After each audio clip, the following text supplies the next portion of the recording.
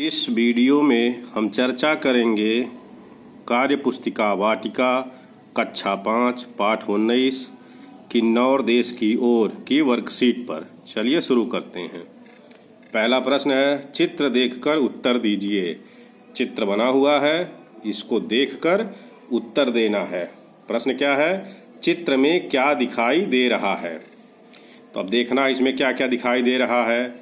ये देखो, एक बड़ा सा पहाड़ है ये इसमें देवदार के पेड़ हैं, घर बना हुआ है, नदी है, और ये सब प्राकृतिक दृश्य हैं तो यही यहाँ लिखना है। तो उत्तर में लिख देंगे, चित्र में एक बड़ा पहाड़, देवदार के पेड़, घर, नदी और सुंदर दृश्य दिखाई दे रहा है। अगला प्रश्न, रामपुर किस प्रदेश में स्थित है? उत्तर है, रामपुर हिमाचल प्रदेश में स्थित है। अगला प्रश्न, लेखक ने रामपुर से कहाँ के लिए प्रस्थान किया? उत्तर, लेखक ने रामपुर से किन्नौर के लिए प्रस्थान किया। अगला प्रश्न है, यदि आपको यात्रा करनी हो तो आप कहाँ की यात्रा करेंगे और यातायात के किन किन साधनों का प्रयोग करेंगे? उत्तर है, मैं हिमाचल प्रदेश की यात्रा करना चाहूँगा पहले मैं वायु मार्ग द्वारा हिमाचल प्रदेश जाऊँगा और फिर ऊँचे ऊँचे पहाड़ों पर जाने के लिए घोड़े का प्रयोग करूँगा।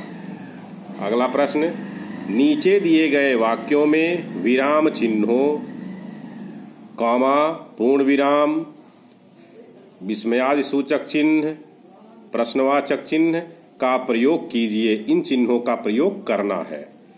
ये लिखा है, रामपुर से सत्रह मई को प्रस्थान किया। तो ये पूरा पूरा सीधा सेंटेंस है तो यहाँ पूर्ण विराम लगेगा। इसको लिख के पूर्ण विराम लगा देंगे।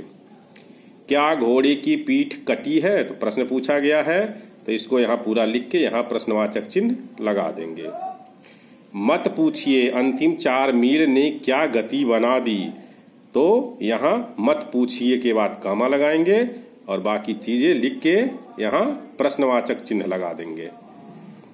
फिर काश मैं बीस वर्ष का हो जाता तो यहाँ आश्चर्य किया जा रहा विस्मय से तो काश के बाद ये विस्मयादि सूचक चिन्ह लगा देंगे, मैं बीस वर्ष का हो जाता और इसके बाद पूर्ण विराम। हम धीरे धीरे आगे बढ़े तो ये पूरा पूरा सेंटेंस है तो यहाँ पूर्ण विराम लगा देंगे। अगला प्रश्न। नीचे दिए गए शब्दों के वाक्य प्रयोग कीजिए। वाक्य में प्रयोग करना है। घोड़ा। पहले लोग घोड़ा की सवारी करते थे। सूर्यास्त। तो यहाँ लिख देंगे, दिन समाप्त होने पर सूर्यास्त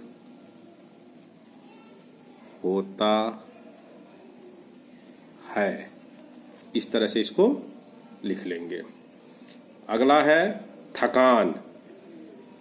तो इसका प्रयोग करेंगे, काम करने के बाद थकान हो जाता है। खाना दोषी, यानी जिसका खाने पीने का ठिकाना ना हो। जैसे लिख सकते हैं ज़्यादातर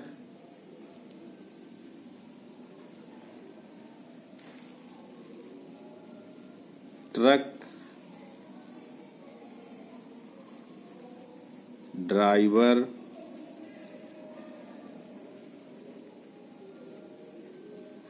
खानाबदोशी जीवन जीते हैं। इस तरह से ये सेंटेंस पूरा कर लेंगे। अगला है, गुफा। लोमड़ी गुफा में रहती है। ये ज़रूरी नहीं है कि आप ऐसे ही लिखें।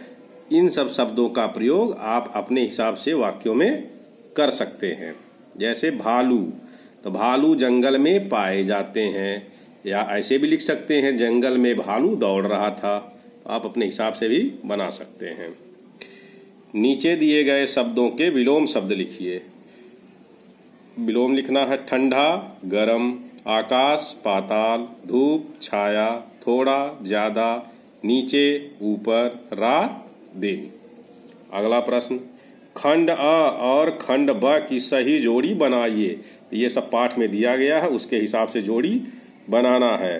पहला है सुडरा गाँव, इसको मिलाना है बाणासुर की भार्या ने सात संतानों को जन्म दिया था। इससे मिला देंगे चश्म का जल। इसको मिलाना है अमृत समान। खम्पा लोगों की भाषा तो ये तिब्बती।